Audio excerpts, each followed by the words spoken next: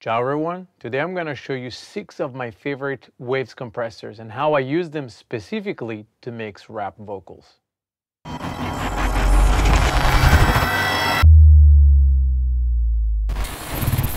Rap vocals perhaps are some of the most challenging elements and crucial element in the mix due to the fact that you have as a mixer respect the dynamic range of the artist, even more the flow and how well this extremely rhythmic instrument blends in with the rest of the beat. For this specific example, I've chosen a song that I produced, recorded, and mixed called Different Breed. And on vocals, I had the pleasure to work with one of the greatest rappers of all time, Mr. Chris Classic. I'm gonna give you a little sneak peek of the song called Different Breed, and then we're gonna go ahead and show you some of my six favorite compressors that I generally use when mixing rap vocals.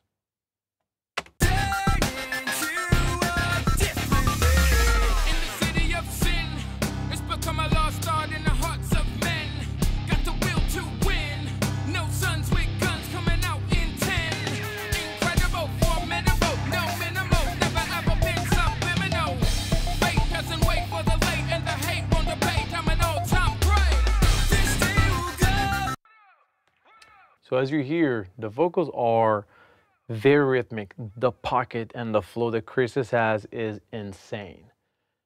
But the problem with such a dynamic vocals is that some lines speak out more than others and you want to retain the flow, yet using compressor more as a tool to bring and glue all of this flow together rather than just flattening out the performance, which is not what we want here. So I'm going to go ahead and show you some of the techniques that I will employ. Now, right now you have heard the vocals being mixed. Uh, one of the very first, although is not part of this tutorial, uh, plugins that I use is Sibilance. Now, Sibilance is a great plugin that Waves uh, has done in order to monitor and keep under control the extra S's that are generally produced by artists due to proximity effects to the microphone. And sibilance in this case allowed me to detect a specific portion of the S's, monitoring it, and kind of like dim them just a little bit. I'm gonna go ahead and play you the vocals with and without sibilance first. In the city of sin, it's become a lost art in the hearts of men without. In the city of sin, it's become a lost art in the hearts of men. Now, right now you have heard the vocals unmixed, meaning I didn't had any of the compression I previously had. I'm gonna let you hear for a second without opening the compressors, the vocals without sibilance and with sibilance. Just because I wanna show you how much compression is actually bringing forward and upwarding all this very small nuances of the vocals. So this is without sibilance and pay attention to the S's. In the city of sin, it's become a lost art in the hearts of men. Got the will to win. No in the city of sin, got all these letters poke through the mix way too much. So by engaging sibilance, I was able to monitor all these S's and kind of like set a threshold to pocket only the elements that I didn't really want to come forward within the mix. In the city of sin, it's become a lost art in the hearts of men. Got the will to win.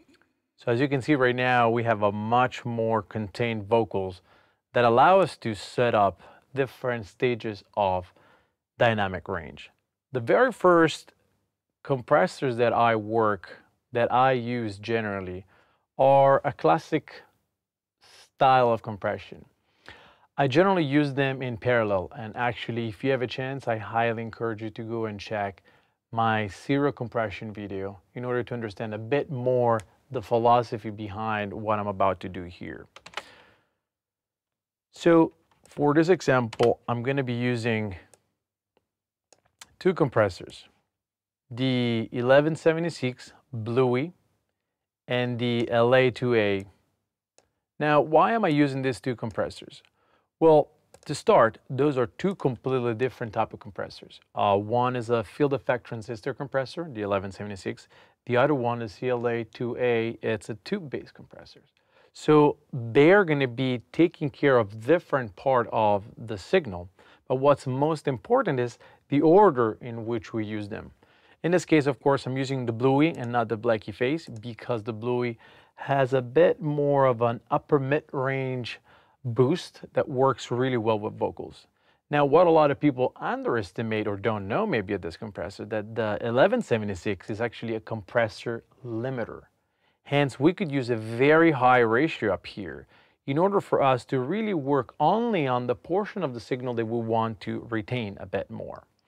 So I'm gonna go in this section over here where our vocals tends to get kind of like out of control and let you hear before without it and then with the um, 1176. To win, no sons with guns coming out in 10. Incredible, formidable, no minimal, never ever been subliminal. Fate doesn't wait for the late and the hate won't debate. I'm Especially here. Incredible, formidable, no minimal, never ever been subliminal. Fate doesn't wait for the. So we have some of the letters, some of the words that are kind of like going out of control. So in this case, I've set my 1176 with a pretty fast attack, a 20 to 1 ratio, and a rather fast release. As you're going to see, this compressor is not meant to squash the dynamic. This compressor is only meant to work in retaining some of these very high picks. I'm going to let you hear without first and then with again. Incredible, formidable, no minimal, never ever been subliminal. Fate doesn't wait. Incredible, formidable, no minimal, never ever been subliminal. Fate doesn't wait for the late and the hate won't debate. I'm an all-time great. So with this very first stage of dynamic range compression, we are taming down the picks and kind of like performing a downward compression, meaning making the loudest part of the signal kind of like lower. Right now, what I want to do now that everything is being contained by our 1176 is kind of like move on the other way around and actually using upward compression with our CLA2A. In this case, again, as you're going to see, I'm not going to compress even more than 3 dB, but these two compressors together are going to give me a specific sound. If I bypass the CLA 76, only letting you hear what the LA2 is doing, you won't be able to really appreciate the sequence by which these two compressors have been positioned. Incredible, formidable, no minimal, never ever been subliminal. Fate doesn't wait for the late and the hate won't debate. so as you can see right now, the compressor is kind of like acting on, yes, the average portion of the signal, but you also have a lot of the picks to keep under control. So what is the name of the game here? Is having each single tool, because those are simply musical tools, taking care of specific parts of the signal. So my first compressor, it's there in order to retain all these picks to trigger in the wrong way our uh, tube compressor. Our tube compressor instead is working to give a bit more color, but also bring forward all those parts that are beneath the actual picks. So I'm actually gonna let you hear this line without the serial compression and then with. Incredible, formidable, no minimal, never ever been subliminal. Fate doesn't wait for the late and the hate won't debate. I'm an all-time great. With? Incredible, formidable, no minimal, never ever been subliminal. Fate doesn't wait for the late and the hate won't debate. I'm an all-time great. So as you can see right now, these two compressors are working on different part of the signal and are doing a great job in making sure we retain enough dynamic, but yet make sure that this dynamic doesn't overpower the entire mix. This is one example how I use Waves CLA's series compressor. Moving forward, another of my favorite compressor is the MV2. Now the MV2, it is a great compressor because it gives us two stages of compression. So very similar to what we have just done with our um, serial compression with 1176 and 2LA.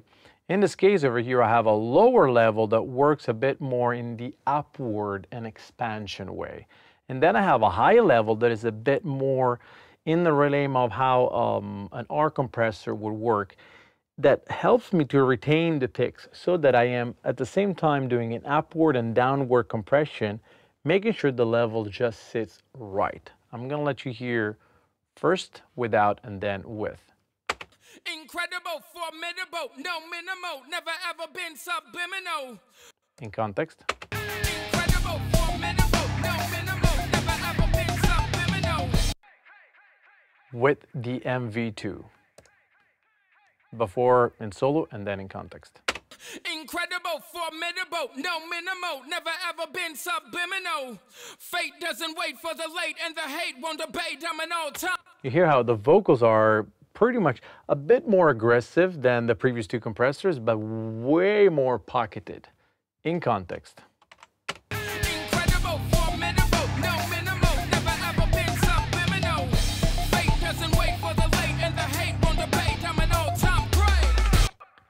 I'm gonna let you hear the serial compression.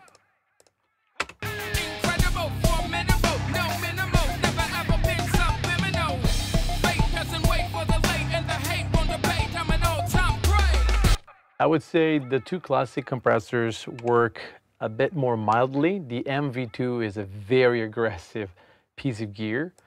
But I do a lot of things, not only rap vocals, uh, also um, a lot of small, jazzy, very breathy passages that sometimes just needs a bit of extra gain stage before actually writing an automation and inserting a different compressor. And this is a great and valuable tool for snare drums, for instance, to bring up a bit more of the ghost notes. More on that later on. The other compressor I love is the R-Comp.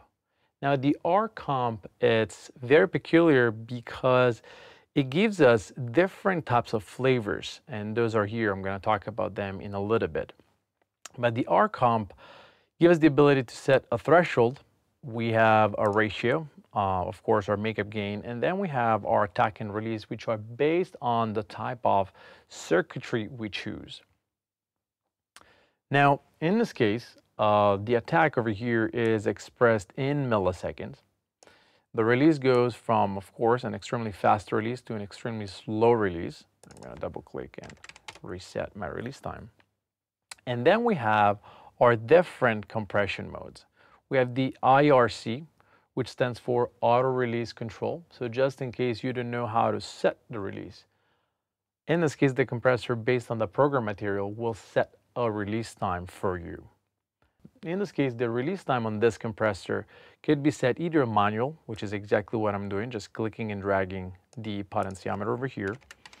If you're unsure, based on the program material, you could actually use the ARC, which is actually our automatic release compression, which works a bit more like a classic vintage compressor would work uh, which is based on program material feeding the compressor. In this case, I found myself a bit more confident in using and setting my own release time. Now, in terms of the release behavior, over here we have to talk a little bit more about these two other settings. Now, in this case, Opto, the release is getting slower when getting closer to the zero. Only when the dynamic range is less than 3 dB and we're getting close to zero, the release become a bit slower. It works a bit more into the relay of almost uh, an LA2A. If we would set the warm, in this case, other than the automatic release time, over here we have some hidden menus. As a matter of fact, we have two different types of behavior of this compressor, opto or electro. Opto, for instance, the release becomes slower when getting close to the zero, but only when we have a gain reduction which is less than 3 dB. If instead I select electro, electro release become faster only when the gain reduction is less than 3 dB. When it's above 3 dB, the release become much slower. Along with this, we have a smooth or warmth. Smooth, in this case, it's a very transparent compression. On the other hand, you've guessed it, warm, it's a very noticeable compression because it acts a bit more on the lower harmonic of the signal feeding in it. So in this case, the way I've set this compressor is in manual mode, opto. I really like the behavior of the release time and the compressor. And in addition to that, I've set it up my warmth. Let's go ahead and hear what this compressor can do to our vocals. Before without and then with. Incredible, formidable, no minimal, never ever been subliminal. Fate doesn't wait for the late and the hate won't. With. Incredible, formidable, no minimal, never ever been subliminal. Fate doesn't wait for the late and the hate won't debate. I'm an all-time great. In context.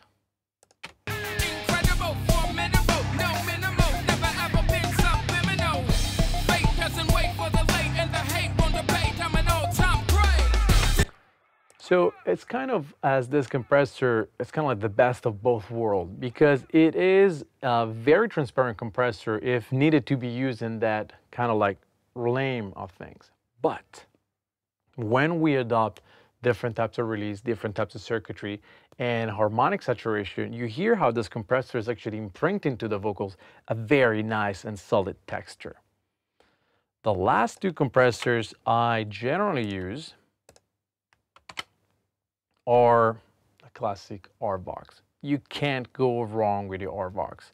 It's this beautiful and easy compressor that pretty much help us to really bring forward and contain a lot of big part of the, the, the, vocal performance. Now in this case, I wouldn't use all these compressors in sequence. I would go and choose and pick exactly what I need for the specific song.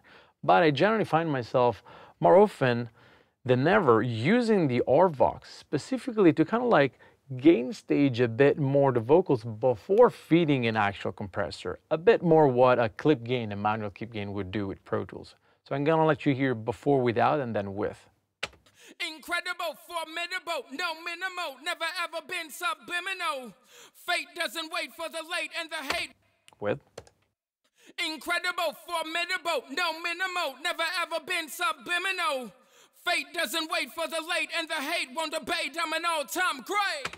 In context. Incredible, formidable, no minimal, never ever been subliminal. Fate doesn't wait for the late and the hate won't debate. I'm an all-time great.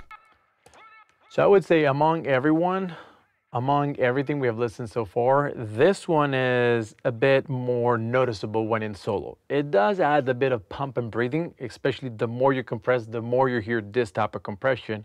But nevertheless, this pumping and breathing help the vocals to cut through a bit more and kind of like redesign a bit more of an aggressive type of texture to the vocals.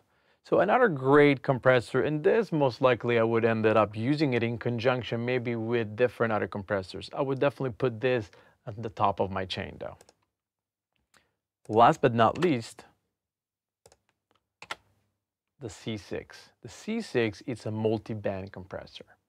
Now I would not probably use this by itself, but even in the situation when I'm actually showing you how this compressor works and using it him by itself is going to achieve and obtain great results for what you're trying to do. Now, in this case, multi-band compressor allows me to have different crossover points, and I can dictate bands that I want, or frequency that I want to expand, reduce, keep it under control, and I can pretty much reshape the overall gain structure of a signal without necessarily altering everything.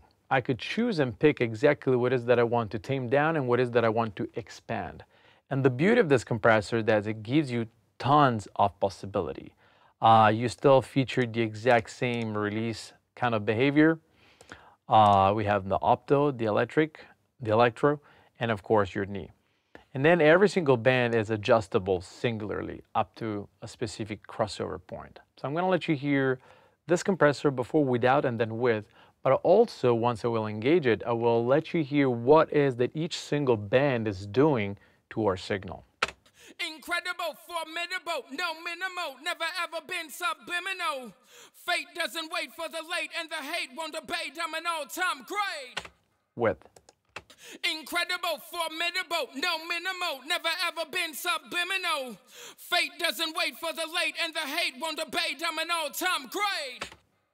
In context.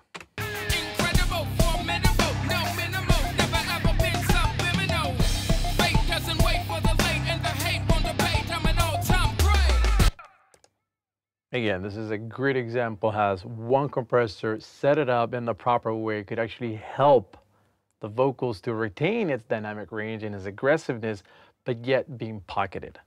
So I'm gonna go ahead and let you hear what these bends are doing. So we have two bends of this compressor, which are actually um, working in a, a bell type of situation. So they could be either broad or very narrow.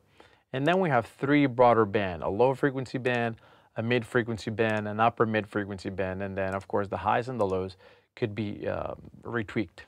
So in this case, let's start with the lows.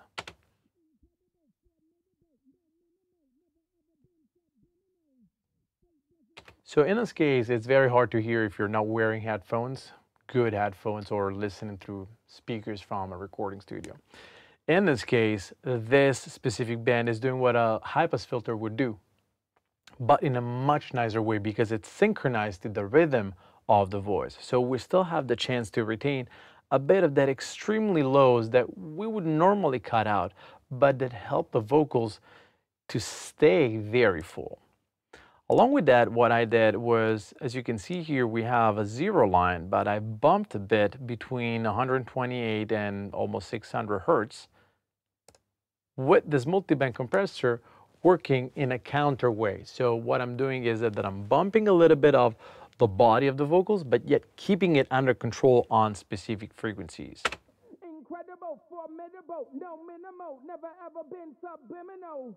Fate doesn't wait for the late and the hate won't debate. I'm an all-time great. So there's a lot of great information within this frequency range and even more in the next one, which I had to apply a couple of things in series. So what I did was taming it down a bit, this 1K very nasally and harsh uh, frequency that generally gets recorded. And additionally, I've used a smaller bell to kind of like tame down um, 1,542 hertz with a Q of 3. Incredible, formidable, no minimal, never ever been subliminal. I'll let you hear it without this and this upper mids. Incredible, formidable, no minimal, never ever been subliminal. With. Incredible. Incredible, formidable, no minimal, never ever been subliminal. You hear how the vocals right now are less upfront, still very present, but they're not actually hurting your ears. And then last but not least, I've expanded from 2K onward, still having the compressor synchronized and actually bringing down a bit of the upper mid-range of the vocals.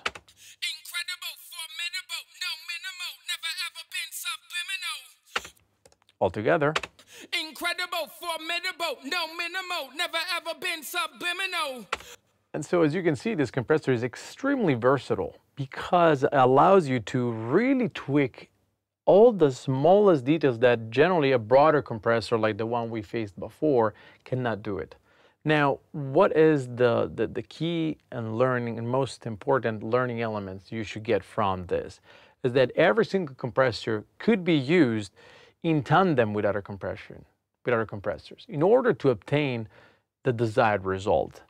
Now, there's not a good or wrong way of going, right? It's a matter of taste. It's a matter of how the song is speaking to you and the type of message you want to deliver. I'm gonna let you hear, uh, again, all this combinations of compressor all at once, and I'm gonna just leave it up to you. Leave it in the comments what type of compressor you like the most. So let's start with serial compression.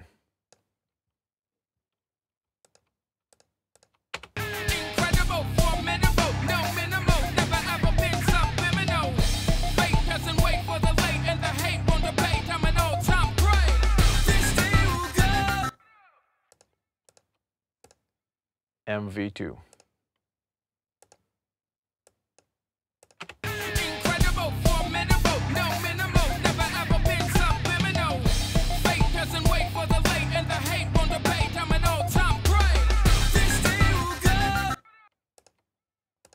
Our compressor.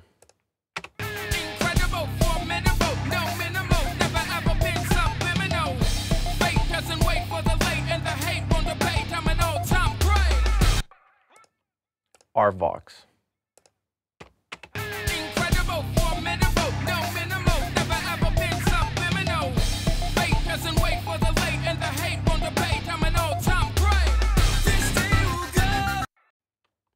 C6.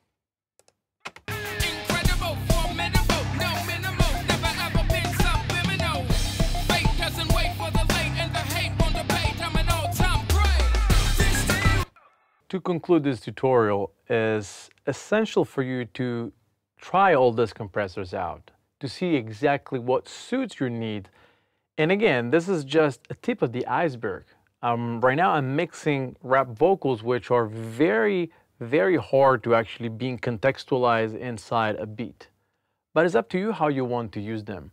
I'm gonna actually leave a link down in the description for you to actually get these Wave plugins and try them out.